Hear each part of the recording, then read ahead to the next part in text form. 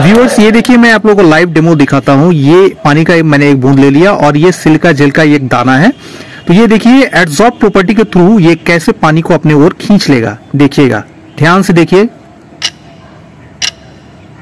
ये देखिए, आप लोगों ने देखा? फिर से मैं और एक दाना लेकर के मैं आप लोगों को दिखाऊँगा। मैंने और एक दाना लिया। मैंने और एक दाना लिया। फिर से मैं आपको दिखाता हूँ। ये देखिए। ये देखिए, कैसे खींच लिया। व्यूअर्स देखिए, मैंने एक बूंद वाटर ड्रॉप ले लिया। जैसे देख सकते हैं आप। अब मैं क्या करूँगा, यहाँ पे एक दाना मैं यहाँ से जैसे ऑलरेडी गिर गया यहाँ पे, मैं इसमें डाल देता हूँ। मैं एक डाला, दो डाला, तीन और भी बहुत सारा मैं डाल देता हूँ।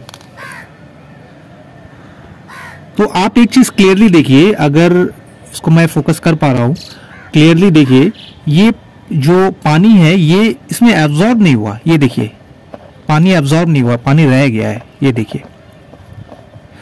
इसका मतलब ये ये एब्जॉर्ब नहीं करता, ये एब्जॉर्ब करता है।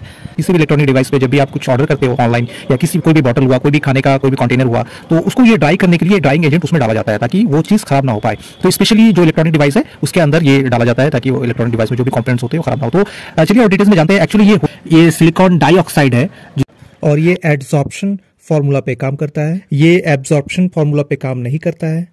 इसको अगर आसान भाषा में समझे तो टिश्यू पेपर एब्जॉर्ब तरीके से काम करता है और नॉर्मल पेपर एड्सॉर्ब तरीके से काम करता है। सिलिका जेल एक सॉलिड मटेरियल होता है। अगर इसको माइक्रोस्कोप में देखा जाए तो इसका सरफेस बहुत ही पोरस होता है। कुछ इस तरीके से ये एडेसिव प्रॉपर्टीज़ के थ्रू वाटर मॉलिक्यूल्स को अपने सरफेस पे कॉम्बाइन कर लेता है।